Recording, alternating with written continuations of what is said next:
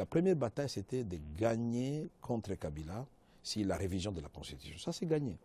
La deuxième bataille, c'était d'empêcher au président Kabila d'utiliser les recensements pour la prolongation de son mandat. Ça aussi, c'est gagné. La troisième bataille, c'est la bataille du calendrier. Nous voulons un calendrier aéré, réaliste et réalisable.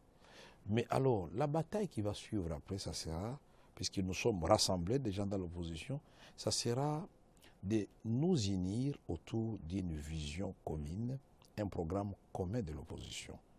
Et quand on a un programme commun, une vision commune, les personnes qui doivent concrétiser ce programme, leur choix devient facile.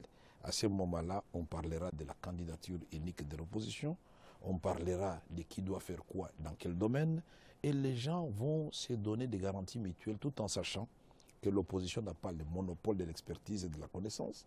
On devra puiser aussi dans la société civile, et on pourra faire aussi comme le président Obama, pourquoi pas, s'il y a un monsieur qui a travaillé dans le temps, mais dont l'expertise est éprouvée et qui peut être utile pour la République, on peut faire appel à lui. Voilà, et la place de la jeunesse et de la femme dans tout ce que nous allons faire. Voilà les ambitions de l'opposition. Ce n'est pas sur la tête des caméras qu'il faut gérer ou de qui que ce soit, c'est sur l'avenir du Congo. Le seul peuple congolais qui nous préoccupe pour le moment. Seulement dans la proposition de l'opposition, les élections provinciales, parce qu'il faut changer les gouverneurs de province.